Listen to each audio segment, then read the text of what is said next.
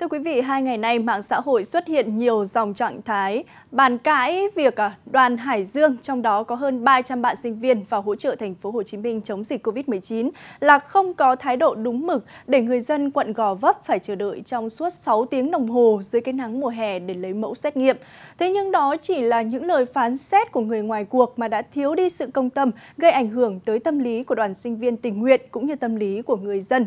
Vậy thực hư câu chuyện này là ra sao? Để rộng đường dư luận, chúng tôi đã tìm hiểu thông tin từ nhiều nguồn để có thể giúp cho quý vị có cái nhìn công tâm hơn với các em sinh viên, những bạn trẻ không quản ngại vất vả, nguy hiểm và vùng tâm dịch.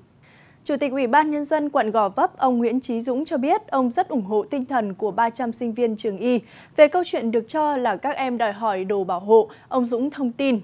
Quy mô của cuộc lấy mẫu quá lớn, các công ty cung ứng vật tư cho đoàn nhân viên y tế chuẩn bị không kịp, nguồn nhân lực cũng đến từ nhiều nơi nên sự phối hợp giữa các bên bước đầu có những khó khăn.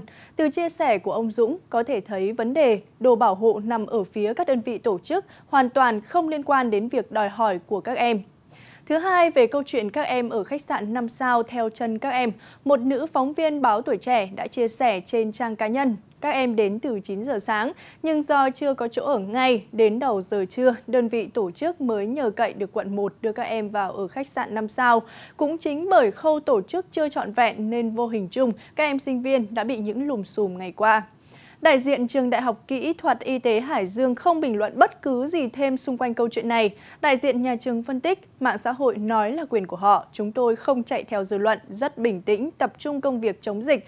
Việc tranh luận sẽ mất nhiều thời gian. Vâng, chắc hẳn quý vị còn nhớ những hình ảnh này. Các em sinh viên trường Đại học Kỹ thuật Y tế Hải Dương đã từng nhiệt huyết trong các chiến dịch tình nguyện ờ, chi viện cho Bắc Giang, Bắc Ninh và tại tỉnh Hải Dương. Suốt 40 ngày đổ lửa, các em đã không quản ngại những khó khăn, vất vả để lấy mẫu xét nghiệm, điều kiện ăn ở đơn sơ. Tất cả chỉ vì tinh thần chống dịch và lời thề Hippocrates. Một nửa sự thật không phải là sự thật trên mạng xã hội cũng đã xuất hiện trên trang Facebook giả mạo sinh viên trường Y để à, các dòng à, trạng thái không đúng với sự thật. Bởi vậy rất là mong quý vị khán giả hãy luôn chỉ à, tiếp nhận thông tin từ các nguồn báo chí chính thống, hãy phát ngôn từ các cơ quan có thẩm quyền và trên cả thì hãy luôn có sự công tâm và trân trọng sự hy sinh của những người mặc áo blues trắng đang âm thầm cống hiến cho công tác phòng chống dịch Covid-19.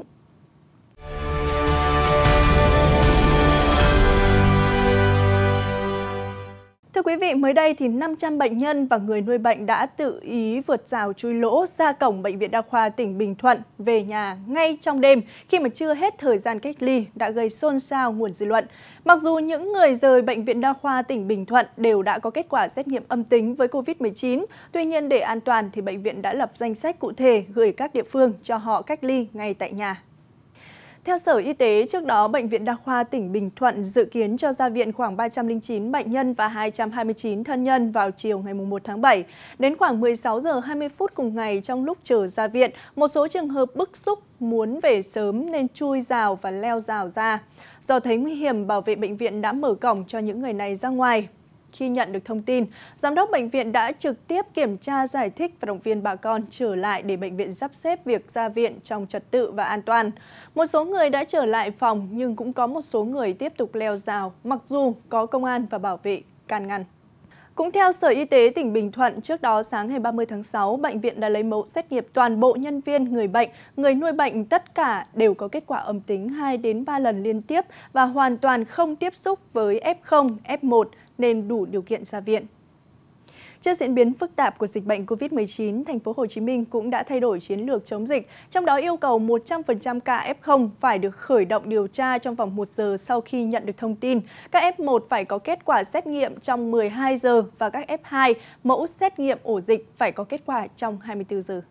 Theo đó, về việc khoanh vùng, thành phố sẽ xác định khu vực khoanh vùng trong một giờ hoặc sớm hơn nữa ngay sau khi có kết quả xét nghiệm khẳng định nhiễm COVID-19. Để có căn cứ khoanh vùng, nhân viên điều tra dịch tễ sẽ điều tra nhanh ca F0 kết hợp với đánh giá thực địa để có cơ sở khoanh vùng phạm vi xử lý. Đối với công tác điều tra dịch, xác định các mốc dịch tễ của F0, lập danh sách F1 gần, F1 xa và F2 của F1 gần sẽ được điều tra theo thực tế tiếp xúc, không theo hộ khẩu.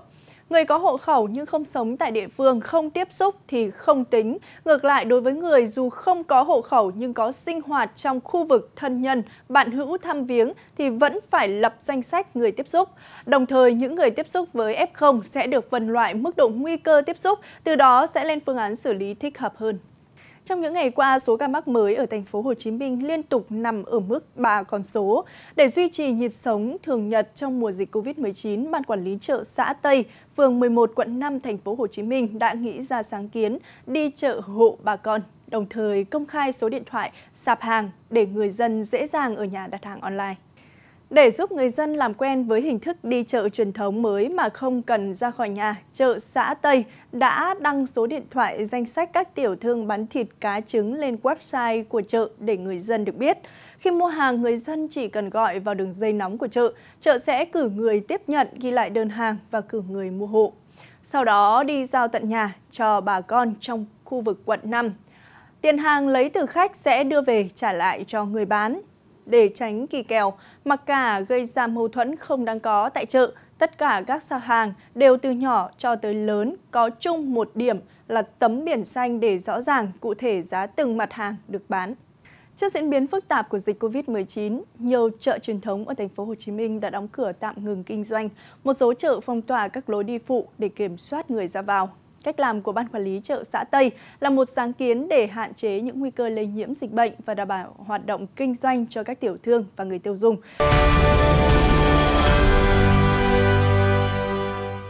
Vâng thưa quý vị, miền Bắc thì đang vào những ngày thời tiết nắng nóng và nhiều ngày chỉ số tia UV còn lên tới mức nguy hiểm. Không chỉ là gây hại cho làn da đâu ạ, mà thời tiết nắng nóng còn có thể làm cho cơ thể của chúng ta ra rất nhiều mồ hôi, gây mất nước, mất điện giải, đặc biệt là ở trẻ em, còn có thể dẫn đến mắc các bệnh rối loạn chuyển hóa. Bên cạnh đó, khi mà chống nóng bằng các biện pháp như là bật quạt gió mạnh trực tiếp vào người hoặc là để cho nhiệt độ điều hòa quá thấp thì cũng có thể là gây nên nhiễm lạnh hoặc là viêm phổi đấy ạ. Vâng, không chỉ như vậy đâu ạ, thời tiết nắng nóng thì cũng dễ làm cho các thực phẩm bị ôi thiêu hay là bị nhiễm vi khuẩn và đó cũng là những cái nguyên nhân gây nên bệnh tiêu hóa hay tiểu đường. À, để phòng bệnh mùa nắng nóng thì chúng ta cần phải chủ động thực hiện một số các biện pháp như sau. Khi đi đường hoặc lao động ngoài trời nóng, phải đội mũ, mặc quần áo chống nắng, đeo kính, khẩu trang. Uống đủ nước, đặc biệt là những người lao động ngoài trời nên uống nước chanh hoặc nước pha muối loãng. Không để nhiệt độ điều hòa quá thấp, không để quạt thổi trực tiếp gần vào người.